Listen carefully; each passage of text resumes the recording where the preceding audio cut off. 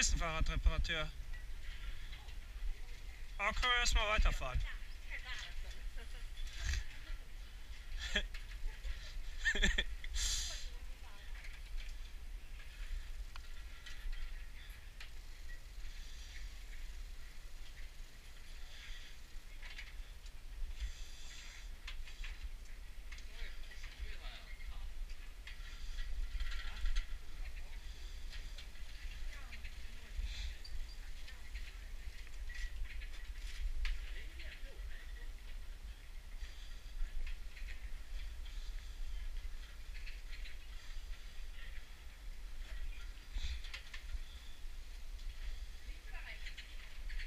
rechts.